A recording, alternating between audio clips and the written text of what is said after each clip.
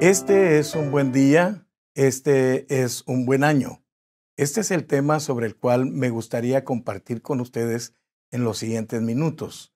Es evidente que al comenzar este año, nosotros tenemos muchos proyectos y estamos eh, enfatizando que al comenzar el día, al comenzar el año, nosotros tengamos esa certeza, esa profunda convicción de que Dios es el que está con nosotros y si Él está con nosotros, ¿quién contra nosotros? Quiero relatarles así eh, brevemente la experiencia y el proceso que llevó eh, la vida de José a una perfección del cumplimiento del plan de Dios para su vida. Dios con cada uno de nosotros tiene un plan y ese plan es perfecto. De hecho, él nos escogió desde antes de la fundación del mundo, trazó algo sobre nuestra vida, hizo votos sobre nosotros y nosotros evidentemente tenemos esa oportunidad cuando le conocemos de dejarnos guiar por el Espíritu Santo. Algunas veces el Espíritu Santo nos guía de una manera muy especial a situaciones y circunstancias que son muy adversas y que nosotros no logramos entender por qué sucede. Esto fue lo que sucedió también en la vida de José. Al, final del, tiempo, José pudo decirle a sus hermanos, Dios me envió delante de vosotros para preservaros posteridad sobre la tierra y para daros vida por medio de gran liberación. Dios me envió delante de vosotros. O sea, todo aquel proceso que José vivió con sus hermanos cuando ellos escucharon eh, el sueño que José había tenido, cuando sus padres escucharon el sueño que José había tenido, eh, provocó una inquietud en ellos porque José les estaba hablando de, de, un, de una posición de superioridad, de un lugar que ellos tendrían que reconocer y tenían que postrarse delante de él. Esto fue extraordinario porque sus hermanos en realidad lo creyeron. Cuando Él les contó, ellos lo creyeron. Y cuando lo creyeron, una de las cosas que, que nosotros podemos ver es que cuando uno cuenta algo que Dios le revela y los demás lo creen, uno debe estar seguro que está en una buena dirección. Aunque la actitud de sus hermanos, los hermanos de José, fueron una, fue una actitud eh, en la cual ellos ah, tomaron medidas negativas contra él e incluso pensaron hasta matarlo. La verdad es de que Dios estaba preparando el camino. aquella circunstancia solamente podía mostrar que José eh, estaba siendo preparado y también los hermanos de él estaban siendo preparados porque no se imaginaban lo que iba a suceder. Más tarde, cuando lo venden eh, en la casa donde él sirve, también tiene una situación difícil. La esposa de Potifar está tratando de eh, capturarlo y de poder tener una relación con él y José tiene que huir sin ropa, después es acusado y llevado a la cárcel. Bueno, allí en la cárcel también Dios estaba preparando todo. Llegaron dos personas José es usado por Dios para revelarles el sueño y encontramos una vez más que todo aquello estaba listo para el cumplimiento del propósito de Dios. De la cárcel, José pasa al palacio, delante de Faraón. En medio de esa situación, Dios le permite a José ver con claridad que lo que soñó ahora se va a volver una realidad. Y a mí me llama mucho la atención eh, de la vida de José, el proceso de su matrimonio y cuando nacen sus hijos. Los hijos de José tienen dos nombres muy significativos en la vida de él que manifiestan cómo su corazón estaba limpio, cómo su mente estaba abierta a lo que Dios quería hacer. Y a uno de sus hijos le pone Manasés. Y Manasés es Dios me hizo olvidar, significa Dios me hizo olvidar.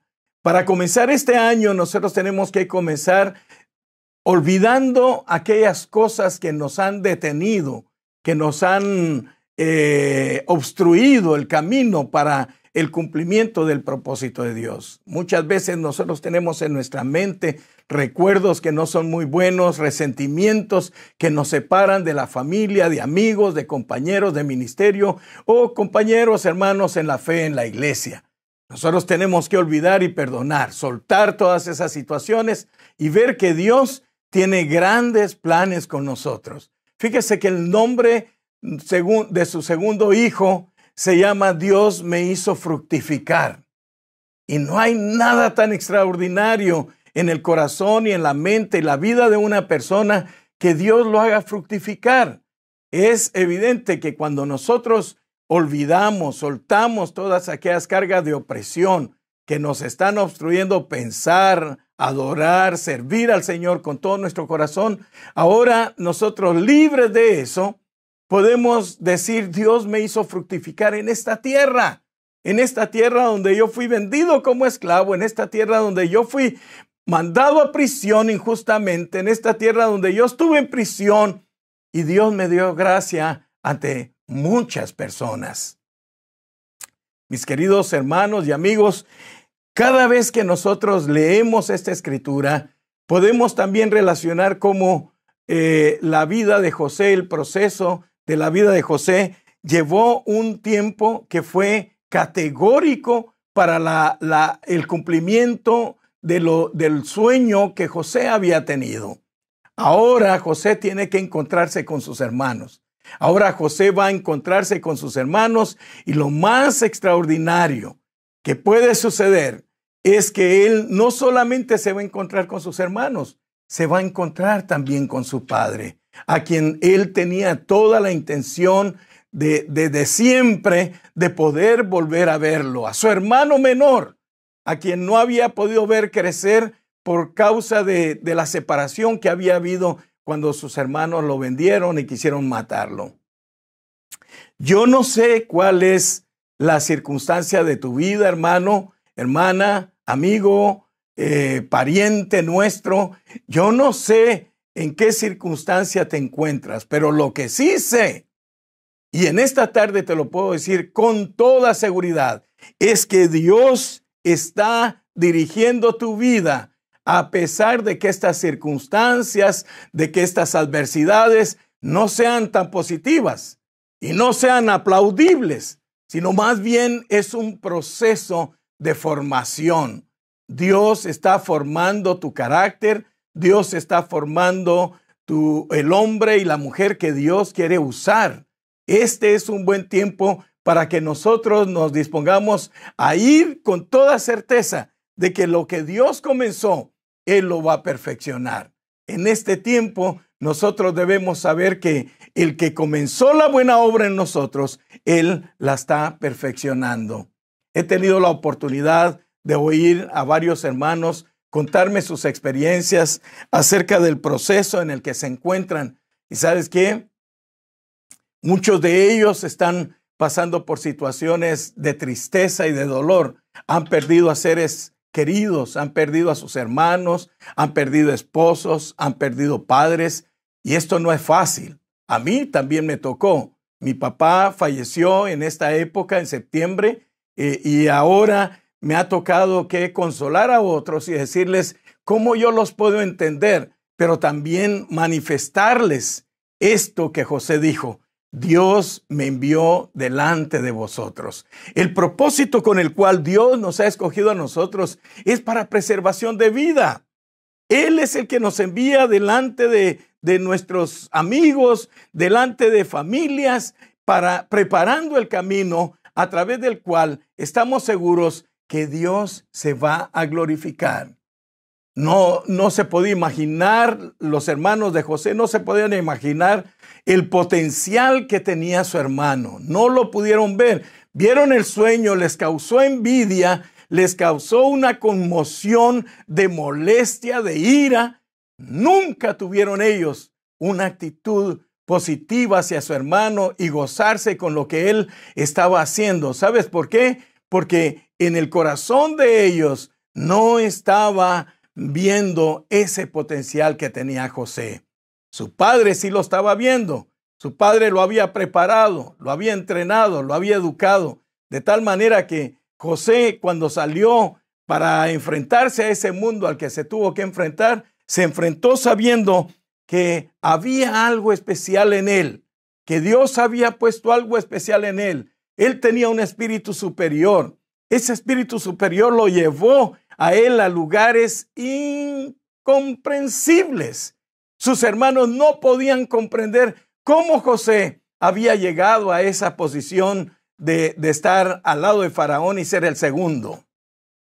Muchas veces nosotros quisiéramos entender lo que Dios está haciendo en esas circunstancias difíciles, en ese dolor que pasamos, que padecemos, pero que en medio de eso Dios tiene un plan perfecto.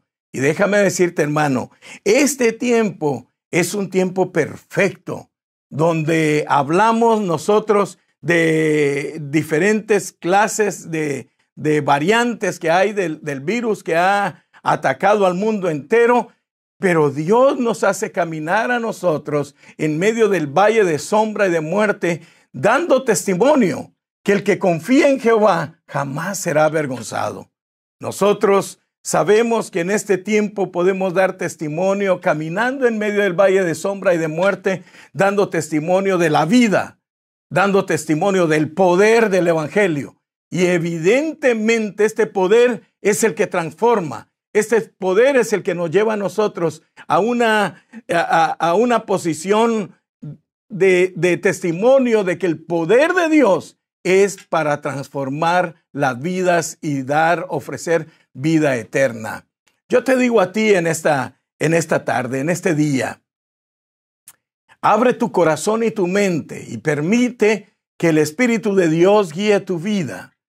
El Espíritu de Dios te va a revelar de qué manera lo que estás haciendo en este momento es un momento poderoso para que te puedas gozar en la presencia del Señor en medio de la dificultad, en medio del dolor, en medio de las lágrimas, en medio de lo incomprensible, lo muy oscuro que pueda estar tu vida en este momento, Dios quiere sacarte a la luz. Hay un pasaje en el libro de los Salmos que dice que Dios hizo cabalgar hombres sobre nuestra cabeza. Nos puso una pesada carga. Nos tendieron redes pero Dios nos sacó a la abundancia.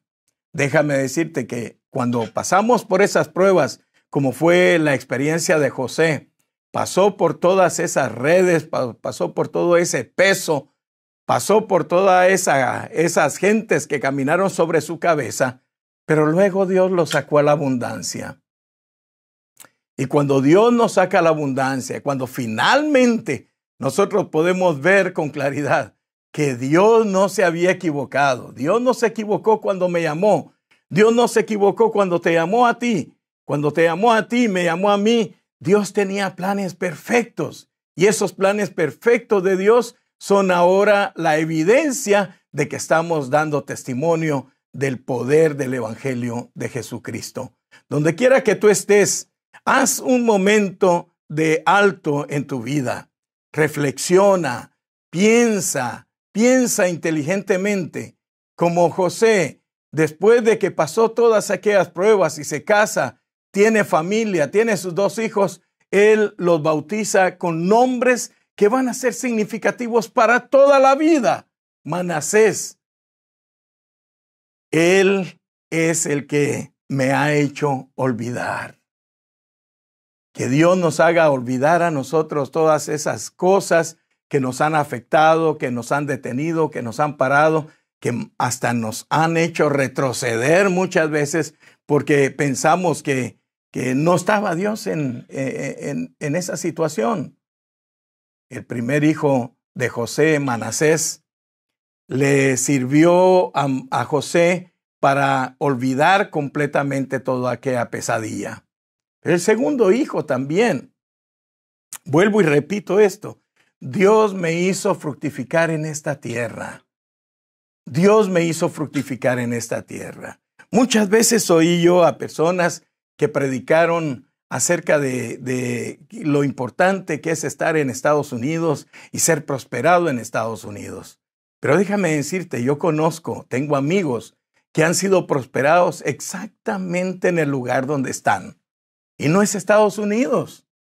Algunos es en Guatemala, otros es en El Salvador, en Colombia, en cualquier parte donde tú estés. El que te llamó es fiel. El que me llamó es fiel. Y donde quiera que nosotros estemos, Él va a estar ahí a favor de nosotros. No dudes de que el que comenzó en ti la buena obra la va a perfeccionar.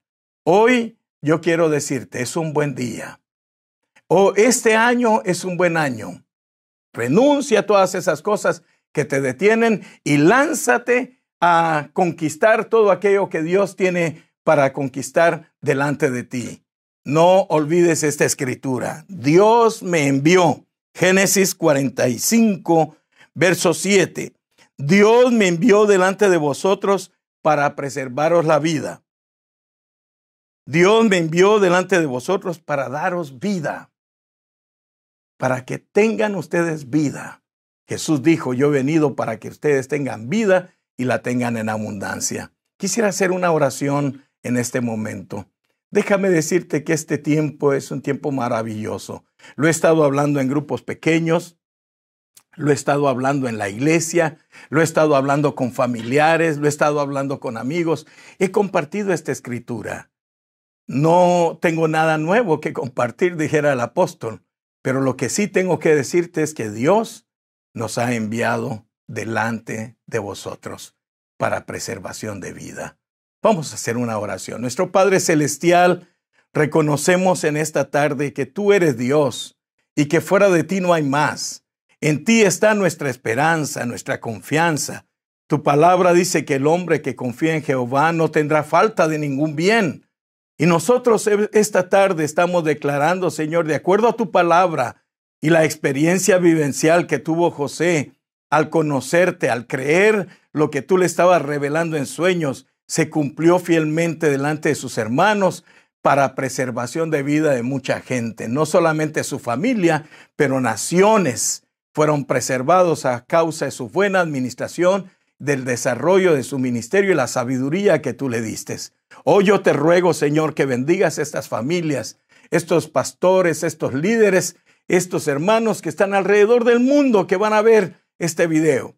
Que ellos y cada uno de ellos recuerde que tienen un llamamiento desde antes de la fundación del mundo, que el que los escogió es Dios y Dios, un Dios omnipotente, un omnisciente, omnipresente, que sabe todas las cosas, para el cual no se esconde nada. Yo te ruego, Señor, que tú te reveles a estas personas y que cada día, Señor, nos hagas fructificar en la tierra donde nos has puesto para conquistar. En el nombre de Jesús de Nazaret. Amén, Señor, y amén. Gloria a Dios. Dios les bendiga a todos. Amén.